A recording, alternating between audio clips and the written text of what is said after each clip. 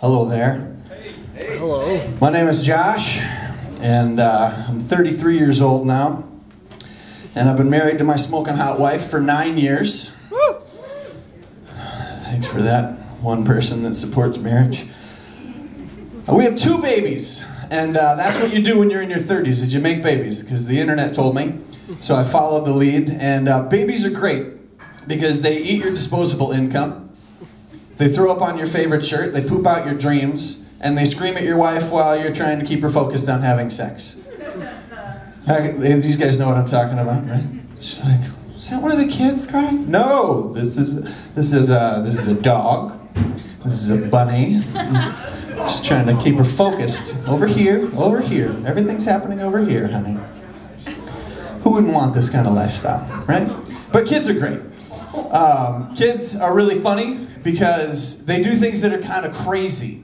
Uh, my son is seven now, and he's getting to the point where he he's getting wiser, so he knows how to take advantage of me when I say stupid things.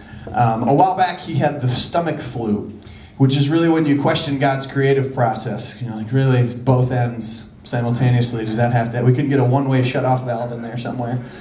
But uh, he's been sick all day. He's been pooping. He's been puking on, off. It's, it's just terrible. So it's finally bedtime, praise the Lord. So I say, Cody, really, buddy, you just need to stay in your room, get some sleep, is what you need, bud. Just get in your bed. Don't come out. So a couple hours pass, and I hear him kind of rattling around in his room. His room is right next to mine. And, and, and like two minutes later, he comes in. He's like, Daddy, I want, I want potty again. I'm like, oh, okay, buddy. I don't know. Are you, are you okay? Is everything all right? And then the lights kind of turn on. I'm like, I didn't hear the bathroom light turn on. I didn't hear anything happen in the, in the loo. And so I'm suddenly like, okay, honey, we got like DEFCON 5. We got to move. So we go running into his room and we're looking for the deposit and we can't find it, which is odd. And we're like, Cody, where is it? And he's like, I ain't telling you nothing. And so we're looking and we're looking, and finally my wife finds these two little poop smeared grips on his train table like this. And then immediately behind it, she pulls back the curtain and there's a hand smear, like in the Titanic love scene, but only with poop. and she's like, I don't understand. And then she looks down. That little bugger gripped his train table and copped a squat over the heat vent. Oh. How's that for Picasso? That guy knows what I'm talking about.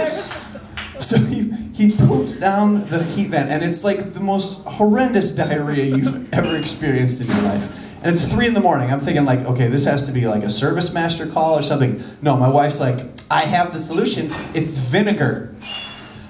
Now, I don't know about you guys, but I have a lot of cleaning solutions in my house, and vinegar is not on the top of my list of favorite scents to put in with, with cleaning. But she is insistent on this, so I grab a three foot long screwdriver and a rag. I tie that on the end, I douse that in vinegar, and then I just pour some vinegar in there. So I dip that. Whoa! I got violent with my dipping. So I dip the screwdriver in there and I'm stirring that thing like a black cauldron of diarrhea soup until the heat kicks on. Puts me right on my back and I crawl over to my son and I say, Why did you poop in the heat vent? He says, Dad, you told me not to leave my room. Like, You're such a smart boy.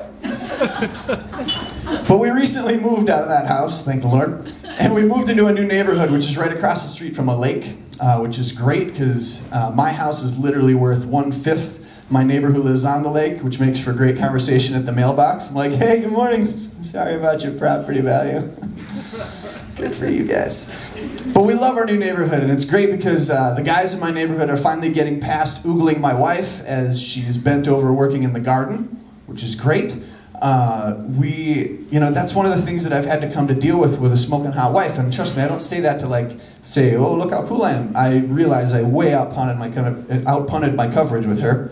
Um, but we were working out at the gym a while together. My wife's a personal trainer, so I kind of have to. Um, but we were doing the ellipticals together, right? So we're doing the ellipticals. And uh, this, this gym bro walks up. And for those who don't know what a gym bro is, he's the guy that cuts off his sleeves. He's got the Bret Michaels headband. He's got the earmuff, uh, headphones on, and he wears his weight belt to do everything in the gym, even this one, right? He's doing that one. And so this gym bro walks, I'm not even kidding, he walks up within five feet of us and he's just staring at my wife. Now, ladies, you need to understand that we as men have like a head nod language. There's a whole language just around the motion of our heads. So at, at this point, I give him the up. Like, how you doing? You know, it's the general sign of what's going on. In my case, I'm saying like, can I help you or something? Really? Now, the general response to the up is the down. Right? Which is a sign of respect. Hey, how you doing? I see you, you see me, we're good, right? But he doesn't give me the down, he gives me an up. Totally a sign of aggression. Clearly. So I'm upset now, and I obviously have to do something, so I give him a more aggressive up. I'm giving him the eyeball thing. Then he gives me the snicker side headbutt. Like, I don't give a what you think. So at that point, I have to. I, I have no choice but to throw down the chin down bow up. Right? I mean, I gotta show him I am a silverback gorilla. I will defend. So he kind of backs off and he, you know, he goes on about his business. A couple days later, I'm back in the gym, but this time by myself. And he comes and he sits down next to me and he says, Hey, would you want to work out with me sometime? And in my head, I'm like, No! Are you kidding? You just Googled my wife. What are you nuts? But I live in Minnesota, so I'm like, Yeah, we should do that sometime. Yeah. Cool, yeah, whatever. You know. But then, not even two days after that, and I'm not making this up, this is the truest story I've ever told. I'm, I'm stretching and I'm hanging from this bar with my two hands above my head. And Gym Bro comes up behind me and does this. Up my sides, sound effect and all. And I realize I've been doing the wrong head nod sequence all along. So, there you have it. I'm done. Like that.